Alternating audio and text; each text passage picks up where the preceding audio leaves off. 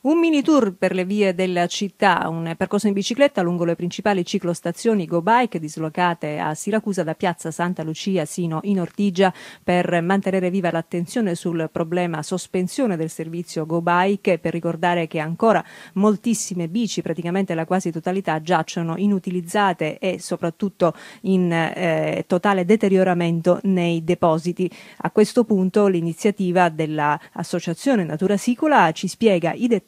Fabio Fazzina. Sì, l'idea nasce, ha lo scopo di ricordare all'assessore Basile l'impegno che ha assunto eh, davanti alle telecamere di Striscia la Notizia non più tardi di un mese fa.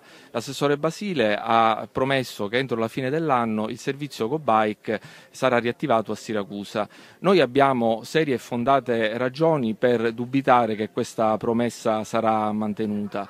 Eh, l'iniziativa ha lo scopo appunto di eh, ricordare all'assessore Basile questo, eh, di sollecitare eh, il suo impegno affinché eh, questa promessa venga effettivamente mantenuta e che Siracusa possa riavere un servizio go-bike eff efficiente.